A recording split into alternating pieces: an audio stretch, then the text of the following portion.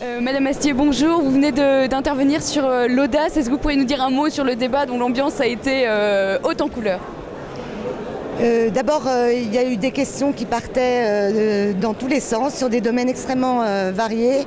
Mais moi, j'ai beaucoup appris avec les différents intervenants.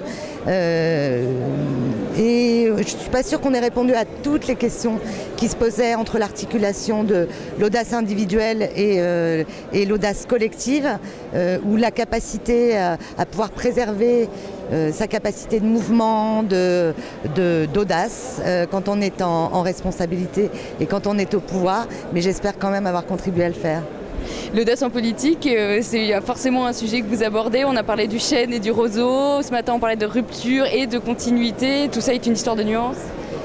Oui, c'est un, beau débat, un vieux débat, euh, et en même temps, euh, il faut pour l'action politique suffisamment de durée pour produire ses effets et suffisamment justement d'audace pour que l'action politique se renouvelle et euh, euh, palpite au rythme euh, de nos concitoyens.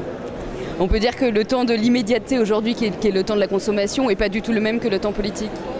Démocratique, genre. Alors la dictature de l'urgence, on en a aussi un petit, peu, un petit peu parlé. Le temps politique, il est forcément plus long que le temps de l'actualité, du scoop ou de l'émotion. Euh, mais en même temps, il faut qu'on trouve euh, justement des temps communs et une temporalité commune pour expliquer euh, et pour construire.